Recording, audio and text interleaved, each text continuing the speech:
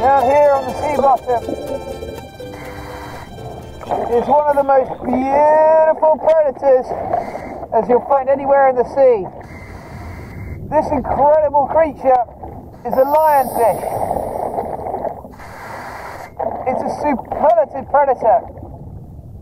Those huge fans that he's got held out to the side and the spines all down the top of his body are all super sharp and at the base of them is a venom gland packed with poison. All of that can be very dangerous to something large that might threaten the lionfish.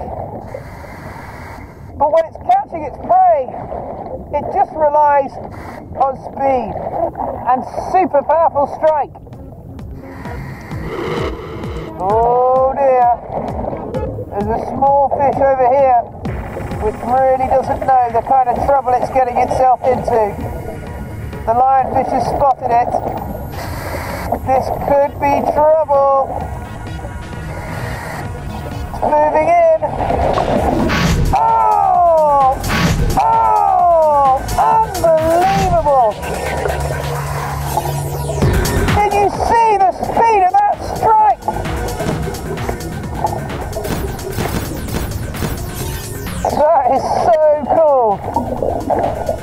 Oh, look, it's about to happen again.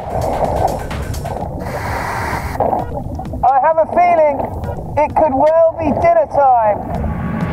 Oh, no, don't do it, little fish. Oh, you're in so much trouble. It did it again.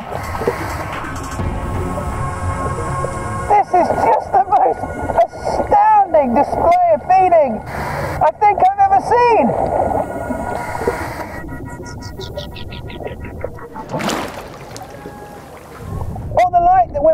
Here is attracting all these tiny little fish.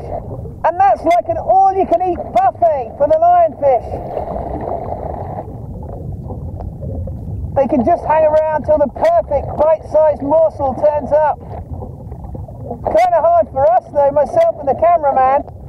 Really got to watch where we're uh, kicking our fins and putting our hands.